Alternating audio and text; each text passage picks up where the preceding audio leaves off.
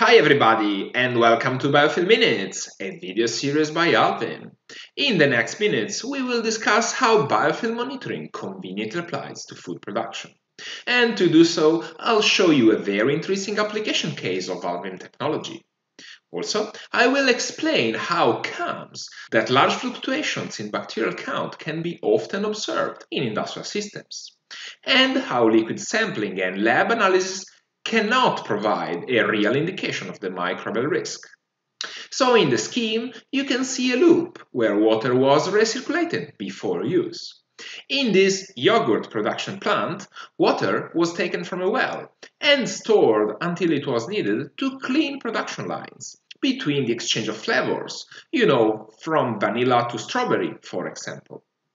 Of course, the system could be affected by microbiological growth, and thus water was constantly treated by UV radiation and filtration down to 0.2 microns.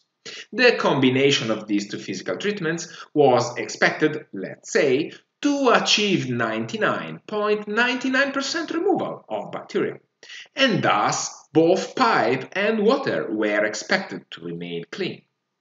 For this reason, the full chemical sanitation of the system was applied only every three weeks, on a scheduled basis. This is a very common approach, applied in several industrial sectors. Such treatments are often applied on calendar basis rather than when strictly needed. Nevertheless, water sampling and analysis were performed on a daily basis to check the microbiological contamination of the liquid, and quite puzzling results were observed. Indeed, while some days the bacterial count in water was very low, some other days high amount of bacteria were observed instead. The customer thought that the filter was broken and tried to replace it with a new one, but still large fluctuations in bacterial count were observed. Why?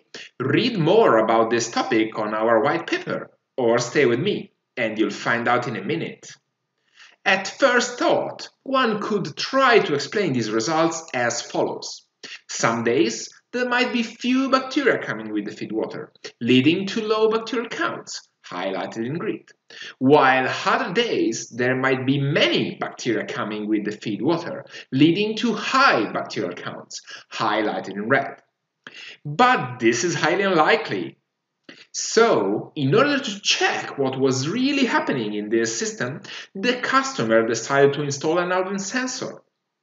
Thanks to the indication furnished by the ALVIM probe, it was possible to observe that immediately after the chemical sanitation of the system, biofilm started to grow, as indicated by the increase in ALVIM signal highlighted in red.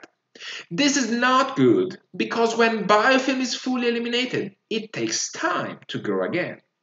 When biofilm readily regrows instead, it means that the sanitation treatment cannot efficiently eradicate it. So the system was contaminated by biofilm.